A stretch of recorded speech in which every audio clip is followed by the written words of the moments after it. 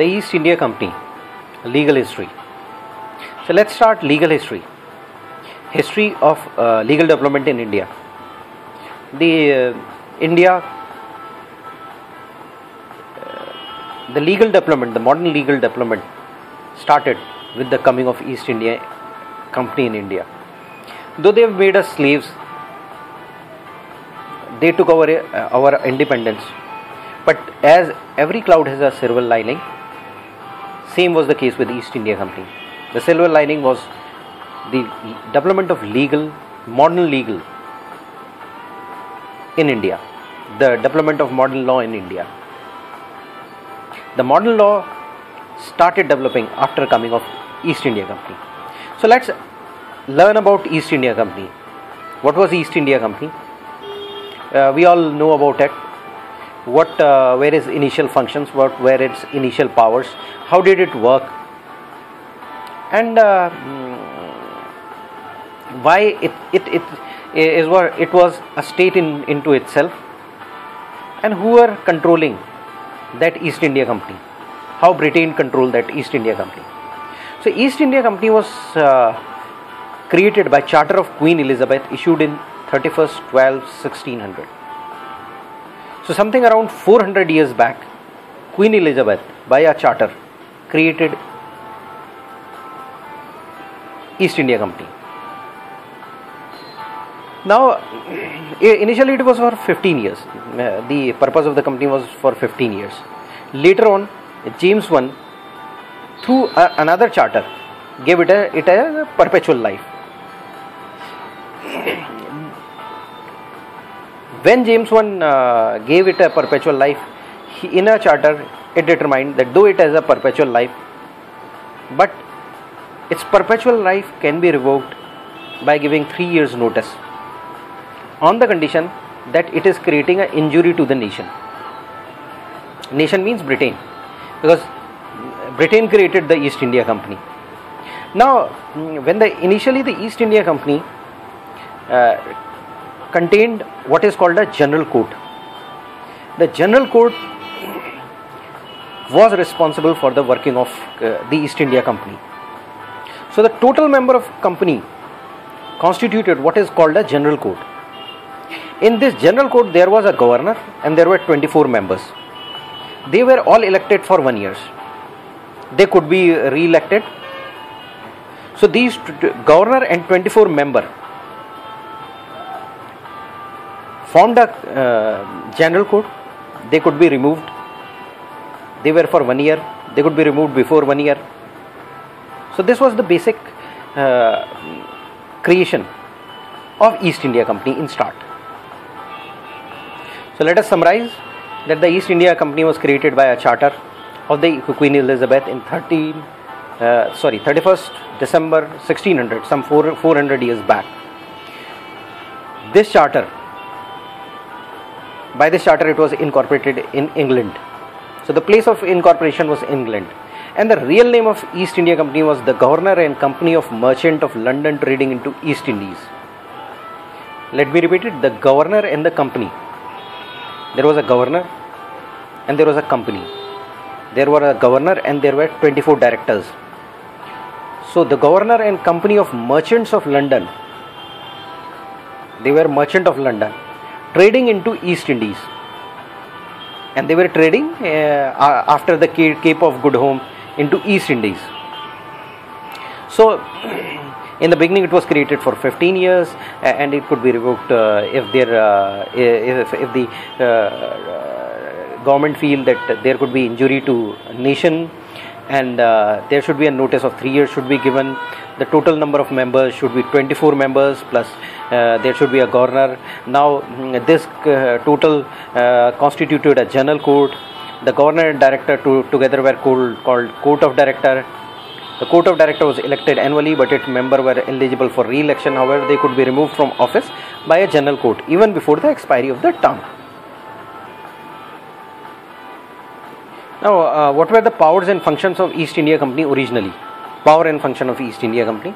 The company was originally created to carry on and enjoy exclusive trading right in countries lying beyond Cape of Good Hope, eastwards, that is Asia and Africa. So, uh, the company was originally created to carry on and enjoy exclusive trading rights and the exclusive trading rights were beyond the cape of good hope eastwards that is asia and africa now in that particular places only east india company could uh, do trade. If any other citizen of britain wants to do trade it has to take license from east india company. So no british citizen could carry trade in this area without a license from the company. At the same time some more powers were given to the company and they were in legislative nature. Because uh, the places were quite distant at that particular point of time and they have to administer their local area and there would have been quite time lag to take uh, justice from Britain. So legislative, uh, some legislative powers were also given. The company in its general court could pass law order ordinances for its good governance for its servants and for furtherance and continuance of its trade and tariff. It could punish the person disobeying its law.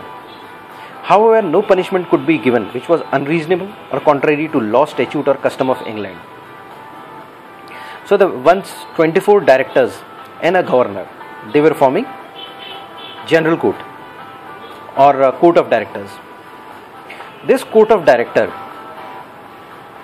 uh, had a power in nature of legislative power. The general court could pass law, order, ordinances for good governance, for its servant, for furtherance and continuance of trade and tariff. So it could pass for its servant. The intention is for the, the, the word written over here is for its servant, not servants of India. So they couldn't pass the uh, laws for Indians, they could pass for its servants. And uh, the, the uh, for good governance and for furtherance of trade and uh, profession. This was over there.